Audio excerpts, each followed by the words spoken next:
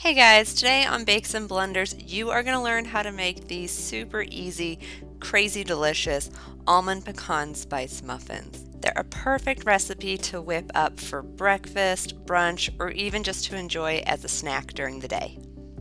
First thing you need to do is prepare your muffin pan. Whenever I make cupcakes or muffins, I always start by putting a little bit of rice in the bottom of each cavity. This helps prevent the cupcakes or muffins from shrinking. It also prevents the wrappers from getting uh, overly soggy. Then go ahead and add your paper cases and set the pan aside. You can find links to the products that I've used in the description box below this video. Now you can combine your dry ingredients. I'm using dried buttermilk today. I'm obsessed with it because I don't always have buttermilk or whole milk on hand. If you're not going to use dried buttermilk, remove the powder and just replace the liquid with an equal amount of buttermilk or whole milk. You can also use whichever spices you love the most. I really do love the blend of cinnamon, ginger, and nutmeg that the recipe calls for. However, today I am using a spice blend from King Arthur Baking called Yuletide Cheer. Also delicious. Time to mix up those wet ingredients.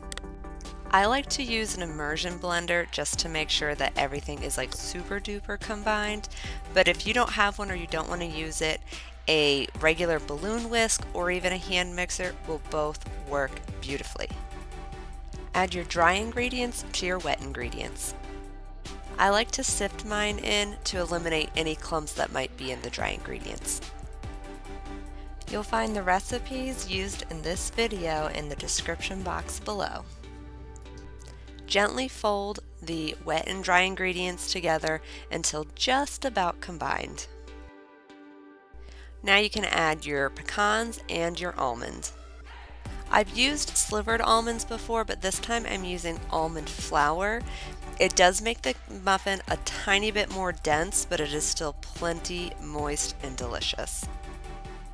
Divide your batter evenly among the 12 spaces in your muffin pan. I'm using my handy cupcake scooper. However, this is too small and you will end up with extra batter. That's fine. Just go back with a tablespoon or a teaspoon and divide the remaining batter among those 12 cavities. So I had some cinnamon sugar lying around and I thought, man, wouldn't that be absolutely delicious with these almond pecan spice muffins? So on half of my muffins, I just sprinkled some of that cinnamon sugar on top. It was absolutely delicious, but it's a purely optional step. Now bake those bad boys until the tops spring back when you touch them and a skewer comes out clean. Let them cool in the muffin pan for about five minutes before removing to a cooling rack to cool completely. If you're enjoying this video, go ahead and give it a thumbs up and don't forget to subscribe so you can see more of my videos.